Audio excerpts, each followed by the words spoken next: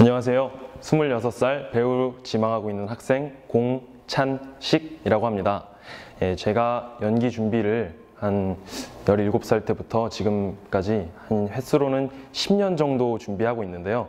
제가 이렇게 오랜 시간 동안 학교에서, 학원에서, 그리고 많은 매체들과 책을 통해서 연기 공부를 하고 항상 고민하고 어, 노력했었던 그 시간들을 이제 제가 오디션장에서 그리고 촬영장에서 여러분들께 보여드리려고 합니다. 항상 실망시키지 않는, 노력하는, 그리고 항상 고민하는, 공부하고 많이 배우는 학생이라는 자세로 열심히 노력하는 그런 배우니까요. 써주세요. 아니요, 써보세요.